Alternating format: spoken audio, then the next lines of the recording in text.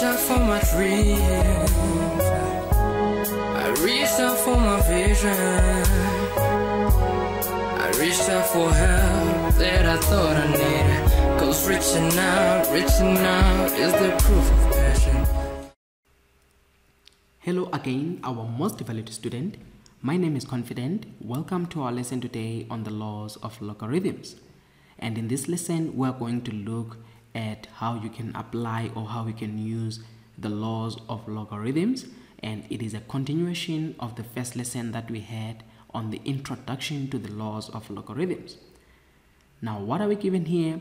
We are given a simplifying problem. It says we must simplify, if I can write that, we must simplify the given expression. So we're supposed to simplify log in base 2 of 0, 0.25 squared. So now there are many ways that you can always approach um, questions with, with laws of logarithms because there is more than one law that can be applied or more than one way that can be applied. So let us try to look at some of these uh, given the time that we're having. So um, the first one that we are going to first uh, look at is if I can write that we are given log in base of 2 of 0 0.25 and then is a square. The first thing that is important is to look at the power and then if I remind you of one law that has got a power if they say log in base of a of x to the power of y if you still remember the y will drop down to become a number before the log so it this becomes y log in base a of x.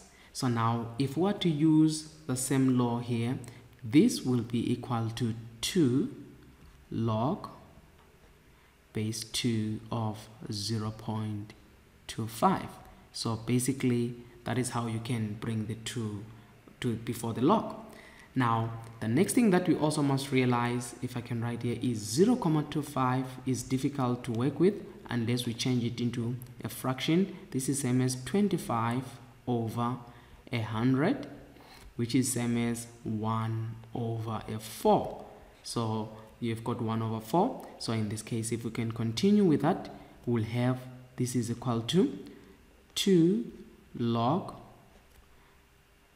1 over 4 and then we can continue again. Now there is a law that applies uh, a division if you still remember the law well, with a division. It says if you are given log base of x over I mean they say base of a and then you've got x over y. This is same as log in base a of x minus the division sign is the negative sign. Minus log in base of a of y.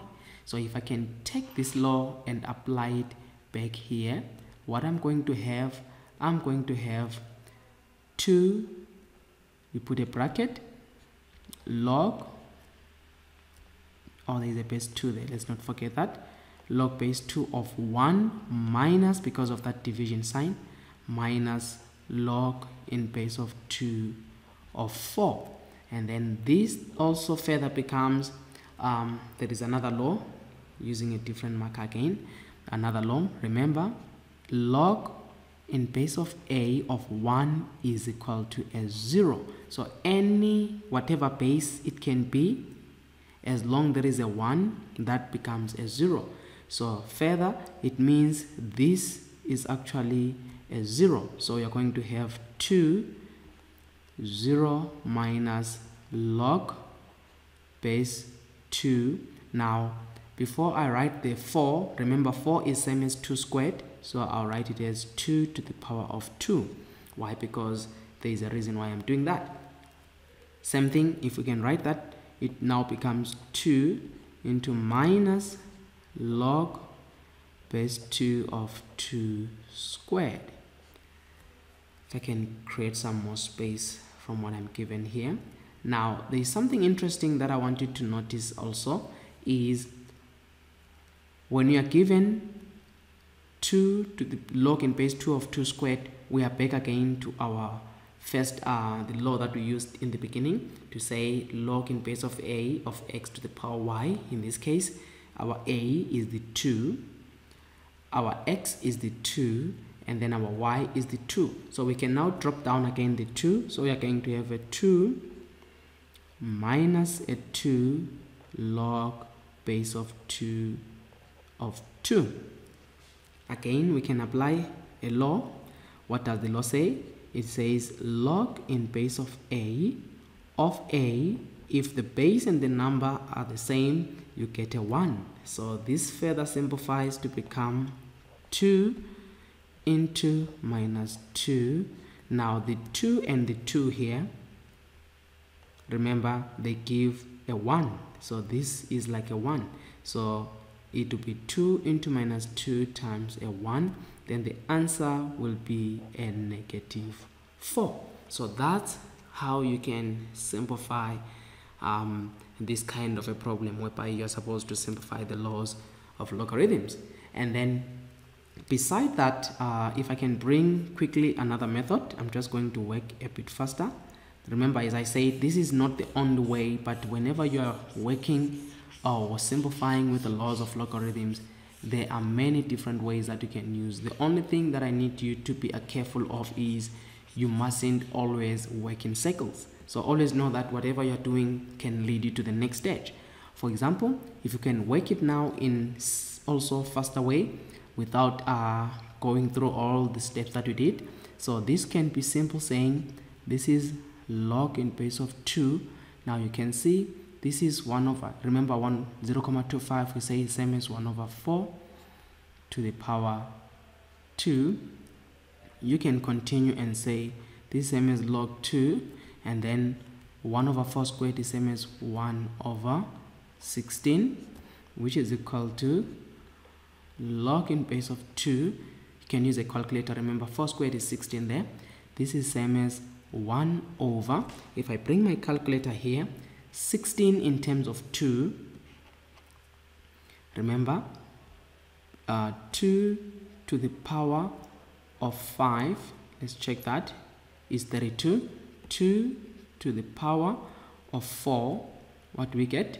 We get 16 so you can see that we can say 16 is same as 2 to the power of 4 so you can write this as 2 to the power of 4 so now because we have written that using the laws of exponents um, we can take 2 to the power 4 to go up and we introduce a negative. So this then becomes log in base of 2 of 2 to the power negative 4 do you see that? So now this is same as equal to. I'm using now the same law that we used previously.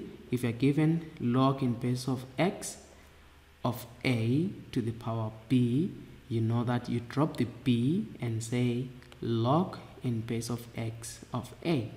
The b is the one that is dropped so you drop the b below. So the same thing here you are going to look at this negative 4 you are going to drop it before the log so what you're going to have this is same as minus 4 log base 2 of 2 so now the next thing that you must remember you need to remember is also another law. Remember this law which says log base of a and a you get a 1 so if the base and the number are the same you get a 1 so in this case here log base of 2 of 2 this must also give you a 1 so in actual fact you are having here a minus 4 and then multiplied by a 1 you get a negative 4 this is similar to the previous answer that we got. We have come to the end of our lesson and as I said initially this is how you can solve a problem where you're supposed to simplify the laws of logarithms. Reached out for my dreams. I reached out for my vision.